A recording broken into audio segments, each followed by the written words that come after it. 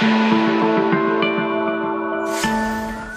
Камчатку потрясло, несмотря на то, что эпицентр землетрясения находился в 460 километрах от Петропавловска, толчки ощущались сильные. Сейсмособытие было зарегистрировано днем 25 марта в 14.49. По разным данным, магнитуда в эпицентре составляла до 7,8. В городе толчки ощущались на 4-4,5 балла. Горожане отмечают, что землетрясение было продолжительным и довольно сильным. Так, в соцсетях появились видео из магазинов с разбросанными на полу товарами. В квартирах кто-то держал телевизор, а кто-то снимал снимал трясущийся фикус. А, в отдельных районах Камчатского края ощущались толчки интенсивностью до 6 баллов.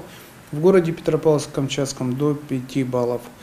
А, наибольшее воздействие это землетрясение оказалось на, северо, оказало на Северокурильск. Там сейчас уточняется ситуация, и там не исключено, что там были незначительные повреждения зданий и сооружений. Во всяком случае, по нашей информации, полученной от жителей Севкура, мебель падала в домах.